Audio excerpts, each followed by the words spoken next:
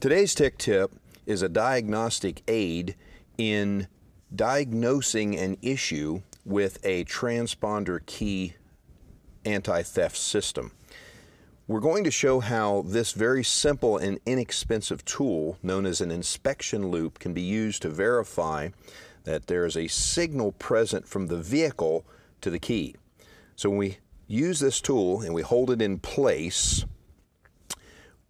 we can turn the key and notice what will happen with this little LED. We saw a brief flash. Now let me demonstrate that again. And I will demonstrate one more time. That flash.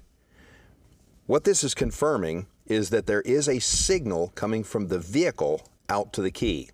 So if we have an issue beyond that, then we would be looking for perhaps a problem with the key or perhaps maybe something in the logic of the operation of the system.